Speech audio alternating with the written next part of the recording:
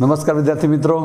ધોરણ અગિયાર, વિજ્ઞાન પ્રવાહ, કેમેસ્ટ્રીની અંદર આજે આપણે ઉષ્મા ગતિશાસ્ત્ર પાઠ નંબર છ, એમાં લેક્ચર નંબર બેમાં મળીએ છીએ. લેક્ચર નંબર બેની શરૂઆત કરતાં પહેલાં પહેલાં આપણી ચેનલને સબસ્ક્રાઈબ કરીશું. લાલ રંગનું અહીંયા જે સબસ્ક્રાઈબ લખેલું છે, એને સ્પર્શ કરીશું અને બાજુમાં બેલ આઇકોન જે છે, એને પણ આપણે ટચ કરીશું. મિત્રો, આપણા લેક્ચર નંબર બેની અંદર આજે બે નવા ટોપિકો લઈને આવ્યા છીએ. ટોપિકનું નામ છે માત્રાત્મક અને જથ્થાત્મક. માત્રાત્મક અથવા જથ્થાત્મક. જથ્થો અને માત્રા બંને સરખી વસ્તુ છે. અને બીજો છે વિશિષ્ટ ગુણધર્મ. માત્રાત્મક અને વિશિષ્ટ ગુણધર્મ. હવે માત્રાત્મક એટલે શું? માત્રા એટલે જથ્થો. પ્રણાલીના જે ગુણધર્મો પ્રણાલીના જથ્થા ઉપર આધાર રાખતા હોય માત્રા ઉપર આધાર રાખતા હોય અથવા અંગ્રેજીમાં એને કહે છે માસ ઉપર આધાર રાખતા હોય. એને કહેવામાં આવે છે જથ્થાત્મક અથવા માત્રાત્મક ગુણધર્મો. હવે એવા કેવા ગુણધર્મો છે કે ત્રણ બાબતો ઉપર આધાર રાખે છે? એક તો માત્રા. માત્રા એટલે મિત્રો જથ્થો. આ જથ્થા ઉપર આધાર રાખે, દળ ઉપર આધાર રાખે, કદ ઉપર આધાર રાખે. બીજું છે સાઈઝ. સાઈઝને લખેલું છે આપણે પરિમાપ પરિમાપ ઉપર આધાર રાખે. પ્રણાલીના જે ગુણધર્મો આ બધા ઉપર આધાર રાખે સાઇઝ ઉપર આધાર રાખે, એના કદ ઉપર આધાર રાખે, દળ ઉપર આધાર રાખે, એને શું કહેવામાં આવે છે? જથ્થાત્મક ગુણધર્મો. બરાબર? હવે દાખલા તરીકે એક સરસ ઉદાહરણ આપીએ આપણે. આપણી પાસે આ એક ગ્લાસ છે. આ એક ગ્લાસની અંદર તમે પાણી કેટલું ભરી શકો? એક ગ્લાસની અંદર આ બસો ગ્રામ અથવા બસો એમએલ પાણી છે. બરાબર છે? હવે એની જગ્યાએ એક મોટી ડોલ લઈએ આપણે જે બાથરૂમમાં ઉપયોગ કરીએ છીએ નાહવા માટે. આ ડોલનો ઉપયોગ કરીએ. તો આ વીસ લીટર સુધી આવી શકે, પંદર લીટરની હોઈ શકે, દસ લીટરની હોઈ શકે. તો તમે જોયું, આની સાઇઝ વધી ગઈ, આનું પરિમાપ વધી ગયું. આનું પરિમાપ વધી ગયું તેનું કદ કેવું થઈ ગયું?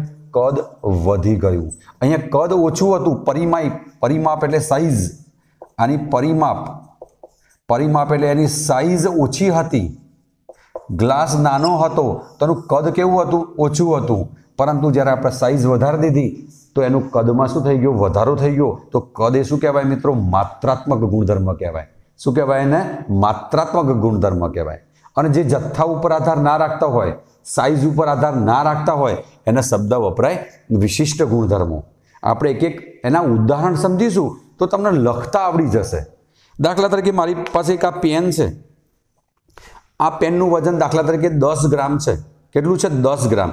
એક પેનનું વજન, એક પેનનું વજન દસ ગ્રામ છે. આ દસ ગ્રામ. તો હું પાંચ પેનો લઉં, તો દસ ગુણ્યા પાંચ, કેટલા ગ્રામ થઈ જશે ટોટલ વજન? પચાસ ગ્રામ. એનો મતલબ દળ એ પણ કેવો છે? જથ્થાત્મક ગુણધર્મ છે. પેનની સંખ્યા વધારી, તો દળ પણ ટોટલ કેવું થઈ ગયું? વધી ગયું. તો જે જથ્થા ઉપર આધાર રાખે છે, એને શું કહેવામાં આવે છે? જથ્થાત્મક અથવા માત્રાત્મક ગુણધર્મ કહેવામાં આવે છે. હવે બીજા કેટલાક ઉદાહરણ લઈએ કે જે જથ્થા ઉપર આધાર ના રાખતા હોય, એની પણ ચર્ચા આપણે કરવાના છીએ.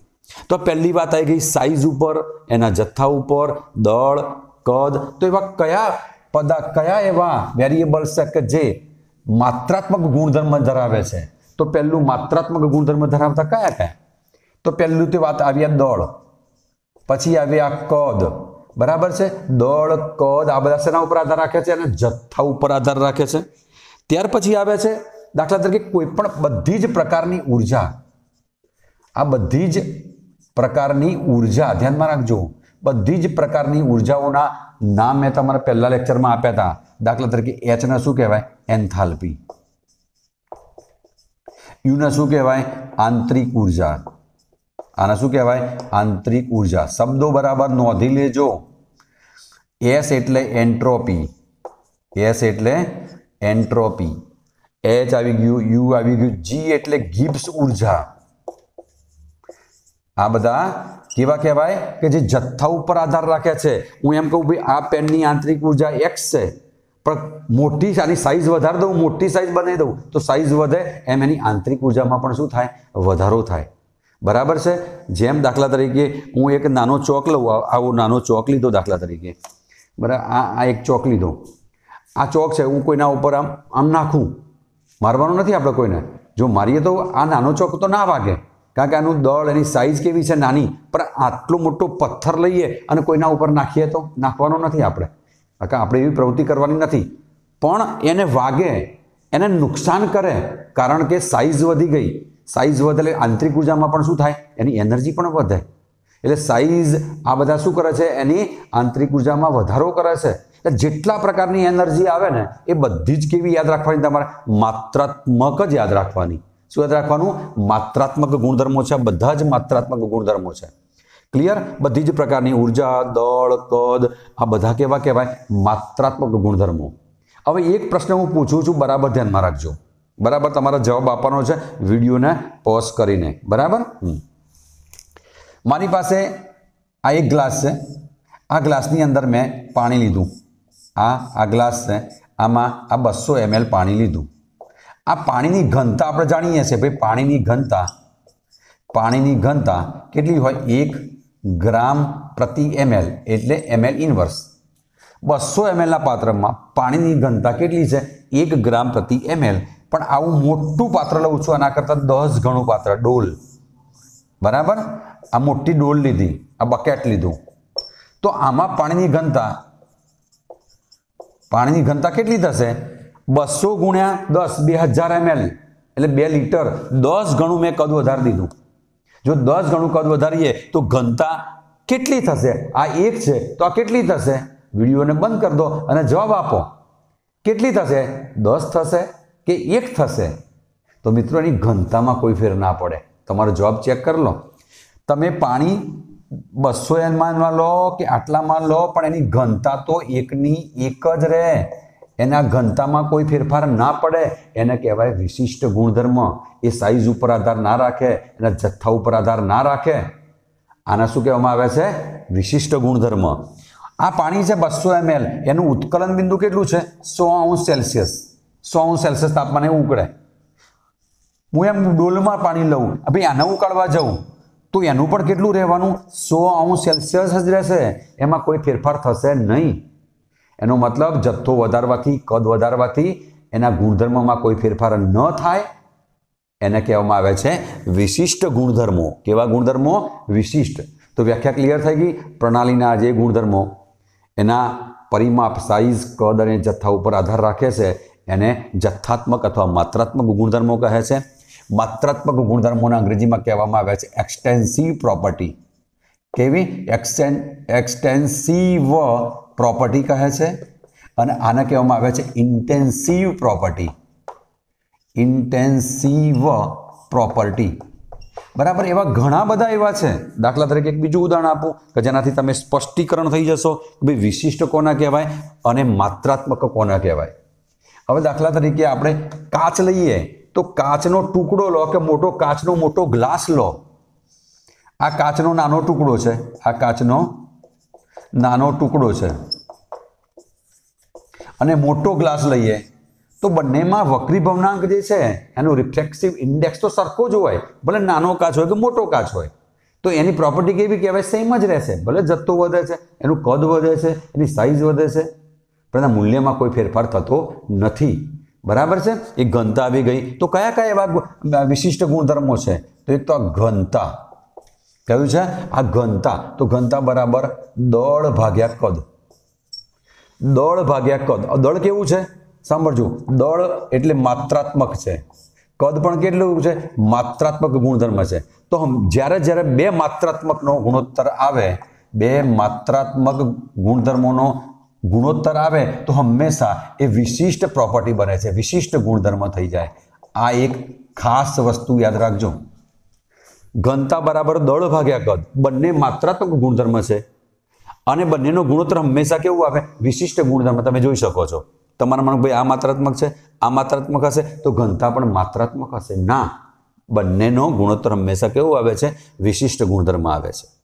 બીજી બાબત કહીએ આપણે. આપણી પાસે એક પાત્ર છે આ. આ. એક મોટો રૂમ છે. આ રૂમની દાખલા તરીકે રૂમનું ટેમ્પરેચર ટી છે. એનું પ્રેશર પી છે. આમાં મેં એન મોલ લીધેલા છે. આનું કદ વી છે. બરાબર? તો આ એક પાત્રની અંદર આ પાત્રમાં તાપમાન, પ્રેશર આ બધું નિશ્ચિત કરેલું છે. દાખલા તરીકે આ એન છે દાખલા કે મેં દસ મોલ લીધેલા છે. આ વી છે દાખલા તરીકે આ ચાલીસ લીટર લીધેલું છે. આ પી બરાબર દાખલા તરીકે આપણે બસો વાતાવરણ લીધેલું છે. અને ટી લીધેલું છે દાખલા તરીકે નોર્મલ ટેમ્પરેચર બસો ને અઠ્ઠાણું કેલ્વિન લીધેલું છે. હવે હું પાત્રને અડધું કરી દઉં સાઈઝ ઓછી કરી દઉં છું. ચલો સાઈઝ ઓછી કરીએ તો આ સાઈઝ કેટલી થઈ ગઈ? વી બાય ટુ એટલે ચાલીસ ભાગ્યા બે, એટલે કેટલી થઈ ગઈ? આ વીસ લીટર થઈ ગઈ. એનો મતલબ એ જથ્થાત્મક ગુણધર્મ છે. મોલ દાખલા કે મેં દસ લીધા, ભાગ્યા બે કર્યા, એટલે કેટલા મોલ થઈ ગયા? કેટલા મોલ થઈ ગયા? પાંચ મોલ થઈ ગયા. કેટલા મોલ થઈ ગયા? પાંચ મોલ. એટલે એન બાય ટુ એ પણ અડધું થઈ જાય છે. સાઈઝ ઘટે છે. સાઈઝ ઘટે છે એટલે મૂળની સંખ્યા પણ ઘટી ગઈ. પરંતુ એવું થશે, તાપમાનમાં ફેરફાર થઈ જશે બસો અઠ્ઠાણું ભાગ્યા બે? ના. અહીંયા પણ તાપમાન એટલું જ રહેશે, અહીંયા પણ તાપમાન એટલું જ રહેશે, અહીંયા પણ તાપમાન એટલું રહેશે. દરેક જગ્યાએ તાપમાન તો કેવું છે? સરખું જ છે. ભલે સાઈઝ તમે અડધી લો કે આખી લો. તો તાપમાન કેવું કહેવાય? વિશિષ્ટ ગુણધર્મ કહેવાય. તો તાપમાનને કેવું લઈશું આપણે?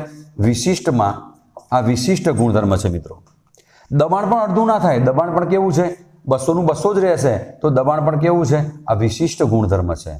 તો આવી બધી બાબતો ઘણા બધા એવા પદો છે કે નીટ અને જીની અંદર પૂછાય છે.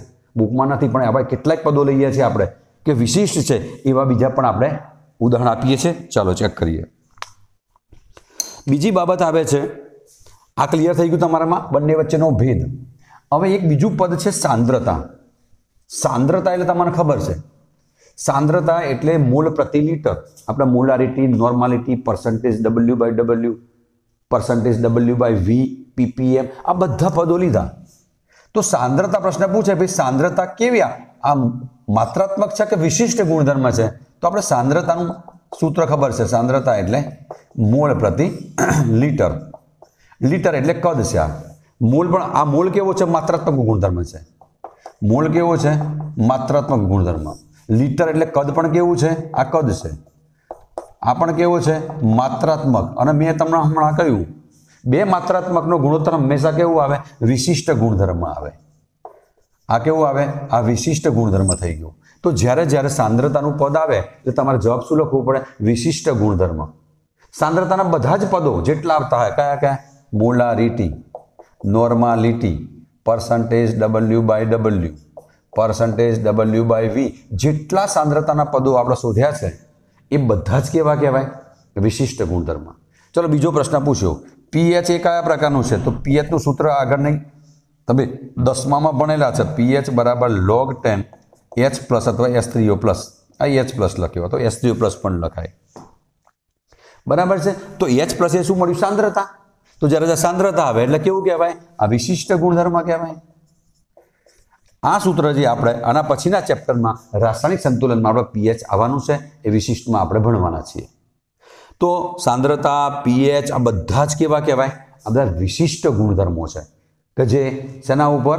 સાઇઝ ઉપર આધાર રાખતા નથી, એના જથ્થા ઉપર આધાર રાખતા નથી, ચોક્કસ મૂલ્ય હોય છે. પછી એક બીજું સૌથી અગત્યની બાબત. મેં હમણાં તમને કહ્યું, માત્રાત્મક ગુણધર્મો જે છે, માત્રાત્મક. એમાં બધી જ પ્રકારની ઊર્જા આવે, એસ આવે એન્ટ્રોપી આવે, એન્થાલ્પી આવે, આ બધી જ કેવી આવે? બધી જ કેવી કહેવાય? માત્રાત્મક. પણ એમાં મોલર એન્ટ્રોપી લેવી છે મારે. મોલર એન્થાલ્પી લેવી છે. મોલર શબ્દ સાંભળજો. મારે કોઈ બી વસ્તુની મોલર એન્ટ્રોપી, મોલર એન્થાલ્પી તો લેવી હોય, તો મારે શું કરવું પડે? એક મોલની અંદર કેટલી એન્ટ્રોપી છે એ લેવી પડે. બરાબર? તો મોલર એન્ટ્રોપી. આ કોઈ પણ મોલર ઊર્જા, કોઈ પણ મોલર એનર્જી છે, એન્ટ્રોપી હોય મોલર એન્થાલ્પી હોય, આ એન્ટ્રોપી હોય, તો એ ફિક્સ થઈ ગઈ છે અને ઝીટા શબ્દ વાપરેલો છે, ઝીટા. મોલર એન્ટ્રોપી માટે બુકમાં એક આવું સિમ્બોલ આપેલો છે, ઝીટા. આ વાસ્તવમાં એન, પ્રતિ મોલ છે, કોઈ પણ દાખલા તરીકે એન્થાલ્પી, તો બાય એન. તો પ્રતિ મોલ, એટલે મોલનું મૂલ્ય ફિક્સ થઈ ગયું છે. એક મોલ એનો જથ્થો ફિક્સ છે. બરાબર? તો એક મોલનો જથ્થો ફિક્સ હોય, તો બધી જગ્યાની વેલ્યુ પણ કેવી હોય? એક જ સરખી. એટલે માટે કયા પ્રકારનો ગુણધર્મ? વિશિષ્ટ ગુણધર્મ. જ્યારે જ્યારે શબ્દ મોલર આવે, કોઈ પણ વસ્તુ મોલર, આગળ મોલર શબ્દ વાપરેલો હોય, એટલે પ્રતિ મોલ કહેવાય અને પ્રતિ મોલવાળી બધી જ કેવી કહેવાય? આ વિશિષ્ટ ગુણધર્મ કહેવાય. આ બાબત બરાબર ધ્યાનમાં રાખજો. બરાબર મિત્રો? ખ્યાલ આવે છે? ટોપિક આટલો નાનકડો છે.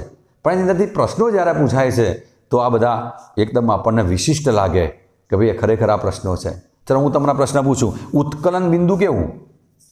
ઉત્કલન બિંદુ ઉત્કલન બિંદુ એટલે પાણીનું ઉત્કલન બિંદુ કેટલું હોય? સો અંશ સેલ્સિયસની વાત કરી. એ પાણી ભલે એક લીટર હોય કે બે લીટર હોય કે પાંચ લીટર. એવું નથી ભાઈ એક લીટરનું સો, તો બે લીટરનું બસો. એવું કહેવાય આપણાથી? ના કહેવાય. દળમાં કહેવાય. એક પેનનું વજન પાંચ ગ્રામ, તો બે પેનનું વજન દસ ગ્રામ કરાય. પણ એક, દસ, દાખલા એક લીટરનું સો સેલ્સિયસ તો બે લીટરનું બસો કરાય? ના ભાઈ. બે લીટર હોય તો એ કેટલા તાપમાને ઉકળે? સો સેલ્સિયસ તાપમાને ઉકળે. તો એને શું કહેવાય? વિશિષ્ટ ગુણધર્મ. ઉત્કલન બિંદુ, પછી આ ગલન બિંદુ. ગલન બિંદુ એટલે જે તાપમાને ઘનનું પ્રવાહીમાં રૂપાંતર થતું હોય, એ પણ ફિક્સ જ હોય. તમે સો ગ્રામનો બરફ લો કે તમે એક કિલોનો બરફ લો, પણ એનું ગલન બિંદુ જે છે, ઘનમાંથી પ્રવાહીમાં રૂપાંતર પામવાનું જે ટેમ્પરેચર એ તો ફિક્સ જ હોય બધાનું. એમાં કોઈ ફેરફાર થતો નથી. તો ગલન બિંદુ છે ઉત્કલન બિંદુ છે, ઘનતા વક્રીભવન પછી સ્નિગ્ધતા. આ બધા શબ્દો યાદ રાખવા પડે. સ્નિગ્ધતા, બરાબર? તો આ બધા જ સ્નિગ્ધતા એટલે ચિકાસવાળો જે પ્રવાહી આવે ને, દિવેલ, આમાં જે ચિકાસ હોય, સ્પર્શી અવરોધ હોય, આને શું કહેવાય? સ્નિગ્ધતા શબ્દ. તો આ બધા જ કેવા કહેવાય? વિશિષ્ટ ગુણધર્મો છે મિત્રો. કેવા છે બધા જ વિશિષ્ટ ગુણધર્મો? તો આ પ્રમાણે તમે માત્રાત્મક અને વિશિષ્ટ ગુણધર્મોનું શું કરો? એકદમ વર્ગીકરણ સરળતાથી કરી શકો છો. ચલો કમ્પ્લીટ ખબર પડી ગઈ બધાને? તો આટલું નોંધ કરી દો. આટલા ગુણધર્મો બધા જ આ છે માત્રાત્મક અને વિશિષ્ટ ગુણધર્મો છે. લખવા તો લખી દઉં, આ માત્રાત્મક. માત્રાત્મક કયા કયા? તો એક તો પહેલું કદ, બરાબર? પછી દળ. બધી જ પ્રકારની ઊર્જા. બધી જ પ્રકારની ઊર્જા. બધી જ પ્રકારની ઊર્જા. આ બાજુ લખીએ એટલે થોડું દેખાય તમને. બંને વચ્ચેના ભેદ લખી દઈએ. લાસ્ટ બંને વચ્ચેનો ભેદ લખીએ. કે ભાઈ ભેદ લખવો હોય તો આ બાજુ લખું છું માત્રાત્મક. આ બાજુ માત્રાત્મક અને આ બાજુ વિશિષ્ટ ગુણધર્મો. બરાબર? ચલો, માત્રાત્મક કોણ આવ્યું? પહેલું આવ્યું. પહેલું યાદ કરો. પહેલું દળ આવ્યું. પછી આવ્યું કદ આવ્યું. આ દળ છે, કદ છે ત્યાર પછી બધી જ પ્રકારની ઊર્જા. બધી જ પ્રકારની ઊર્જા. કઈ કઈ આવે? આંતરિક ઊર્જા. એચ એટલે એન્થાલ્પી. એસ એટલે એન્ટ્રોપી. એન બરાબર, આ મૂળ લઈએ તો મૂળ પણ કેવો છે? મૂળ પણ કેવો છે? માત્રાત્મક ગુણ છે? ગુણધર્મ છે? તો આ બધા લખ્યા મેં માત્રાત્મક. વિશિષ્ટમાં લખ્યું મેં ઘનતા. બે લખ્યું વક્રીભવન ત્રણ લખ્યું ગલન બિંદુ, આ બાજુ લખ્યું ઉત્કલન બિંદુ, આ બાજુ લખ્યું સ્નિગ્ધતા, આ બધું નોંધ કરી દેજો પછી.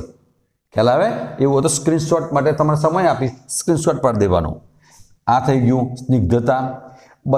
બધી જ પ્રકારની, બધી જ પ્રકારની મોલર એન્ટ્રોપી બધી જ પ્રકારની મોલર એન્ટ્રોપી. આ બધા જ તમારે યાદ રાખવાના છે. આ બધી જ પ્રકારની કેવી કહેવાય? Molar entropy. એટલે પ્રતિ મોલ વપરાય છે. તો આ બંને વચ્ચેના ભેદ થઈ ગયા. આ જથ્થા ઉપર આધાર રાખે સાઇઝ ઉપર આધાર રાખે, પરિમાપ ઉપર આધાર રાખે, આના રાખે એનાથી વિરુદ્ધ. ઓકે? હવે લઈએ છીએ બીજો મુદ્દો. મિત્રો, લઈએ છીએ આપણને અવસ્થા વિધેય. એ બહુ જ અગત્યનો છે આપણા માટે. અવસ્થા વિધેય કોના કહેવાય? અવસ્થા વિધેય લઈએ છીએ. આટલું જરા સ્ક્રીનશોટ કરી દો, એના ફોટો પાડી દો આનો. હવે લઈએ છીએ આપણે સ્ટેટ ફંક્શન અવસ્થા વિધેય. અને આ પણ એટલું જ અગત્યનું છે. અવસ્થા વિધેય કોના કહેવાય? અવસ્થા વિધેય એટલે શું? સ્ટેટ ફંક્શન શબ્દો ધ્યાન રાખજો. અવસ્થા વિધેય. તમને એમ થાય કે અવસ્થા આવી, એટલે અંગ્રેજીમાં એમ કહે છે સ્ટેટ સ્ટેટ ફંક્શન. બરાબર? આને કહેવામાં આવે છે સ્ટેટ ફંક્શન. કેટલીક વખત આને સ્ટેટ વેરિયેબલ એટલે અવસ્થા ચલો, સ્ટેટ પેરામીટર્સ પ્રાચલો, આ બધા ઘણા બધા શબ્દો છે.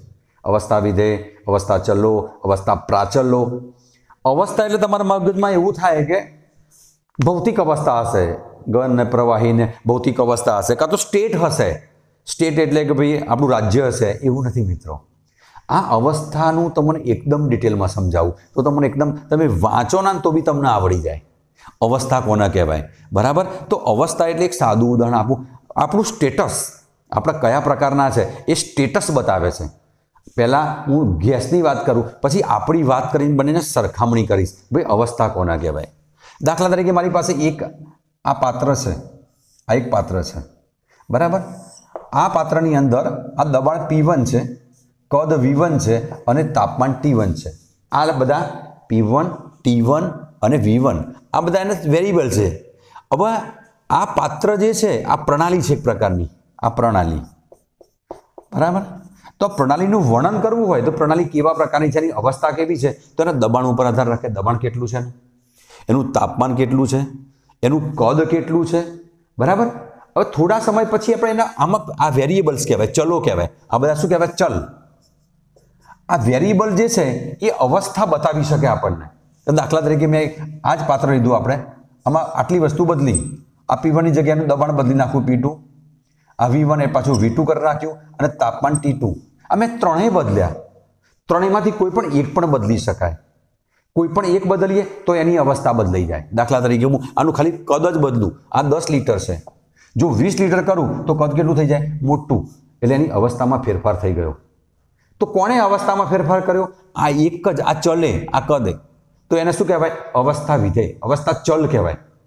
એટલે અવસ્થા, એક અવસ્થામાંથી બીજી અવસ્થામાં કોણે આ ફેરફાર કર્યો? આ બધાએ કર્યો કે એની અવસ્થા બદલી નાખે છે. એટલે અવસ્થા કોના ઉપર આધાર રાખે છે? તો અવસ્થા જે છે, પ્રણાલીની અવસ્થાના ગુણધર્મના જે મૂલ્યો, પ્રણાલીની કયા ઉપર આધાર રાખે છે? પ્રારંભિક સ્થિતિ અને અંતિમ સ્થિતિ ઉપર આધાર રાખે છે. પ્રારંભિક સ્થિતિ અને અંતિમ અવસ્થા ઉપર આધાર રાખે છે. અંતિમ સ્થિતિ ઉપર આધાર રાખે છે. સ્થિતિ એટલે અવસ્થા. બરાબર?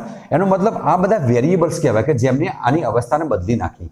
તો આ બધા જે ગુણધર્મો છે, આ બધા ગુણધર્મો છે. દબાણ, કદ, તાપમાન, એ બધા અવસ્થા વિધેયો કહેવાય. પ્રણાલીના ગુણધર્મના જે મૂલ્યો પ્રણાલીની અવસ્થા ઉપર શું કહે છે? આ પ્રણાલીની અવસ્થાને બદલી નાખે છે, એકમાંથી બીજા. બરાબર?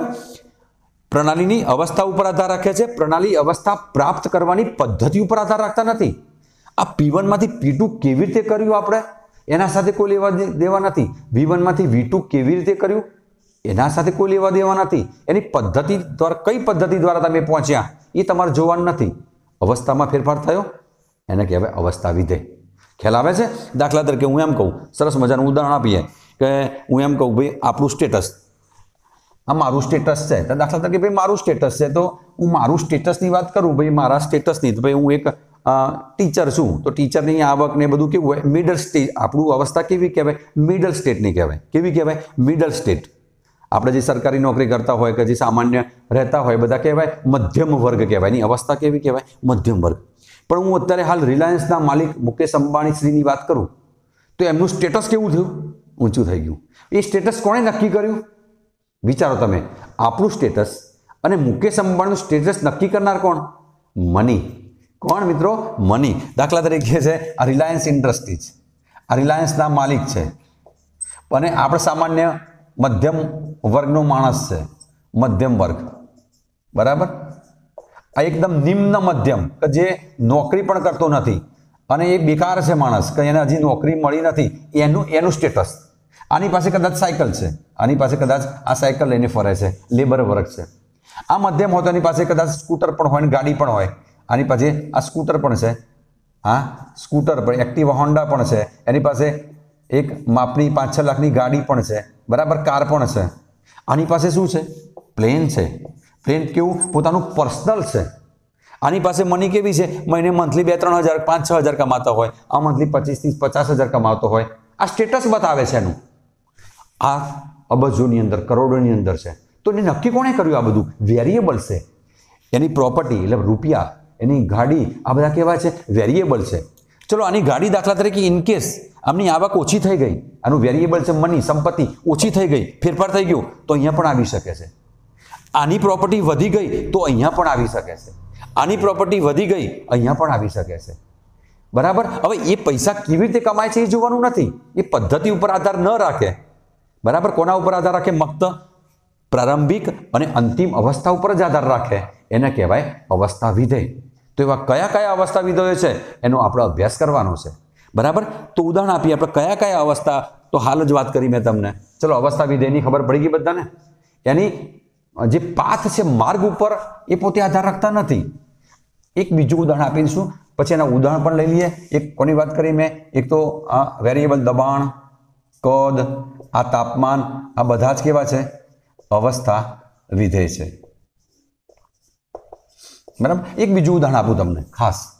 દાખલા તરીકે અમારે હિંમતનગરની બાજુમાં એક મોટો ઈડરનો ગઢ આવેલો છે. બધા જ વિદ્યાર્થીઓને ખબર હશે. ઈડરિયો ગઢ. કદાચ આ બાજુ સાઉથમાં રહેતા હશો, સાપુતારા આવેલો હશે. કોઈ મધ્યમાં રહેતા હશો, પાવાગઢ આવેલો હશે. દરેક જગ્યાએ જુદા જુદા ગઢ આવેલા છે મિત્રો. દરેક વિદ્યાર્થીઓને લાભ લાભ આપીએ. દરેક વિદ્યાર્થી પંચમહાલ બાજુ હોય તો એવું કહી શકાય, બરોડા બાજુ હોય, પાવાગઢ નજીક પડે. આ બાજુ ડાંગ જિલ્લા બાજુ હોય તો સાપુતારામાં મોટો એક હિલ છે, મોટું સ્ટેશન છે, માઉન્ટ આબુ છે. તો આ હિલ છે ઈડરિયો ગઢની વાત કરું.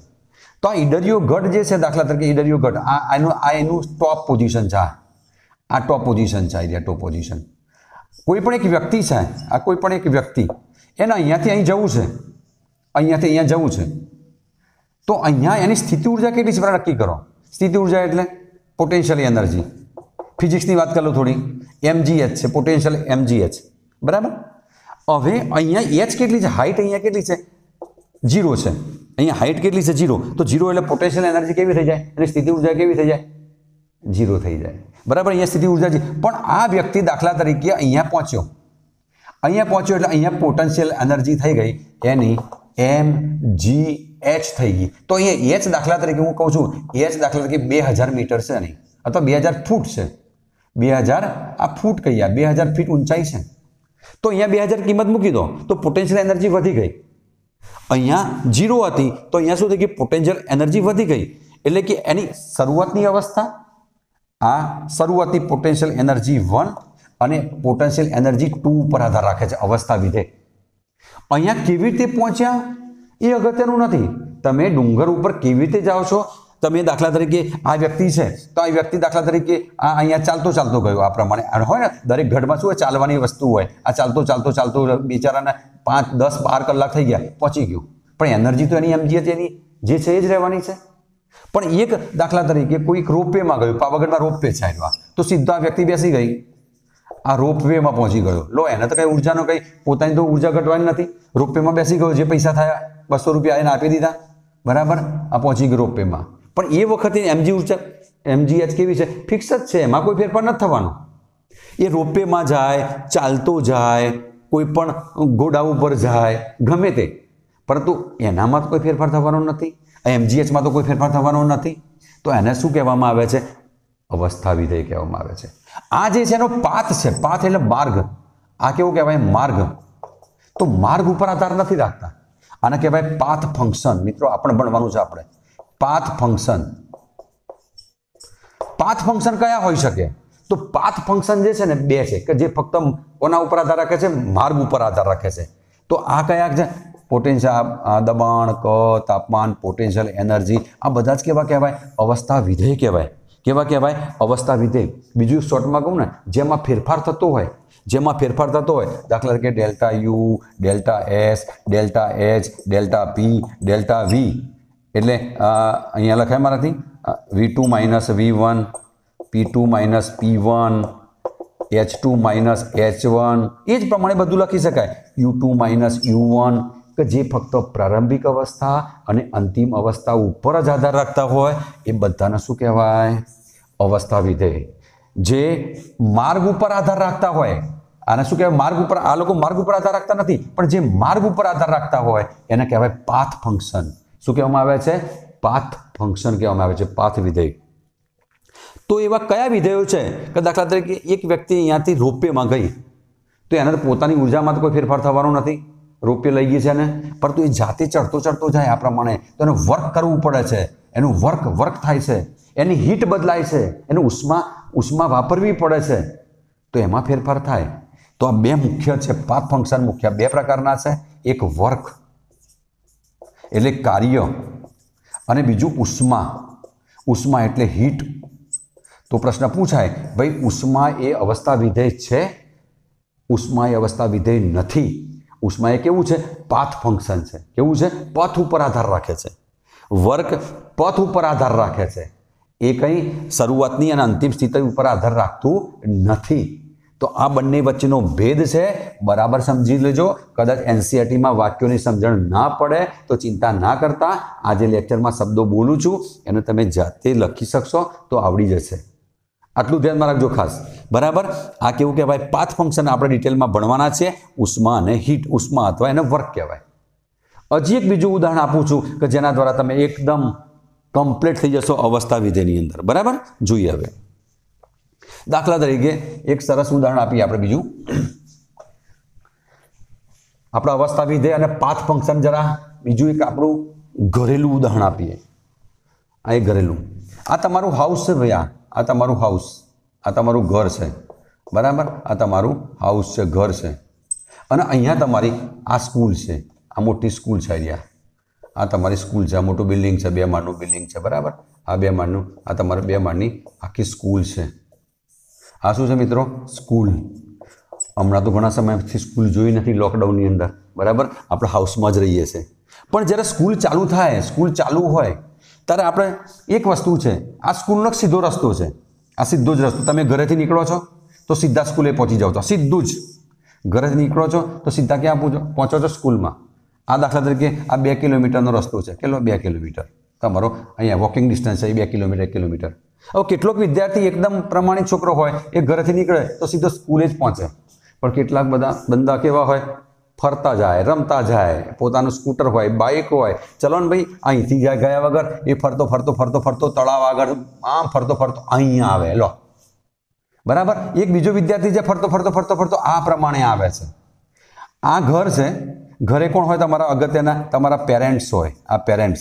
તમને મોકલે છે સ્કૂટર લઈને, તમારા પેટ્રોલ પુરાવીને નીકળે છે. અહીંયા સ્કૂલ છે, સ્કૂલમાં કોણ હોય? ટીચર. સ્કૂલમાં હોય મિત્રો ટીચર. ટીચરનો કયો ઉદ્દેશ છે? કે વિદ્યાર્થી સ્કૂલમાં આવે છે એ જ. સ્કૂલમાં ભણે છે. સ્કૂલમાં જે લેક્ચર કેમિસ્ટ્રીનું ચાલે છે, એ ભણે છે. એમાં એને આનંદ, એની હાજરી છે, યસ. એ કેવી રીતે આવે કોઈ પૂછશે?